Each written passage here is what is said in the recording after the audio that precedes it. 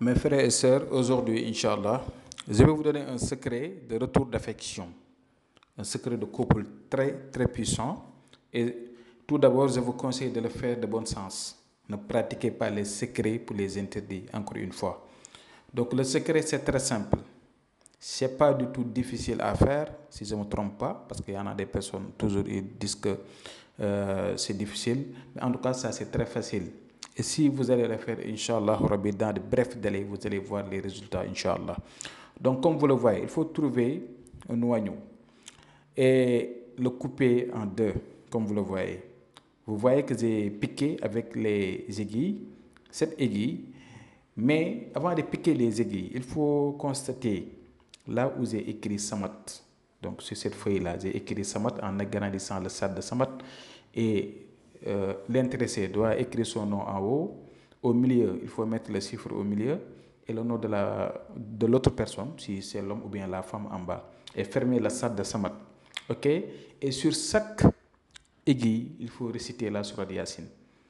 OK? Sur chaque aiguille, il faut réciter la Surah Yassine, le souffler et dire votre vœu et le piquer.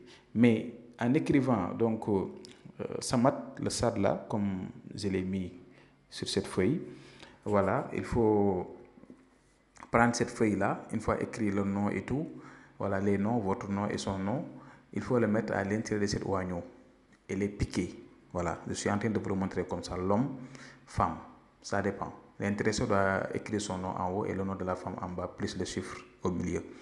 Et il faut le mettre à l'intérieur de cet oignon-là. Et sur chaque euh, aiguille, il faut réciter la Yassine et le souffler.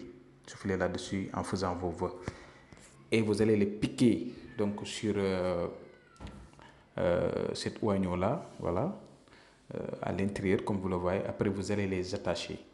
Il faut les mettre ensemble et vous allez le et vous allez l'enterrer quelque part. Si vous voulez donc dans la forêt ou bien même quelque part mais un peu isolé Inch'Allah. Si vous allez faire ça c'est terminé quand ça va être pris, Inch'Allah, vous allez voir les résultats. Ça, c'est testé et vérifié. Ce sont des pratiques pratiquées depuis la nuit des temps par nos ancêtres. Et moi-même, je l'ai fait à multiples reprises. Et voilà, je sais que ça marche. Inch'Allah. Donc, essayez de le faire de bon sens. Il ne faut pas les faire pour jouer avec. C'est ce que je vous déconseille.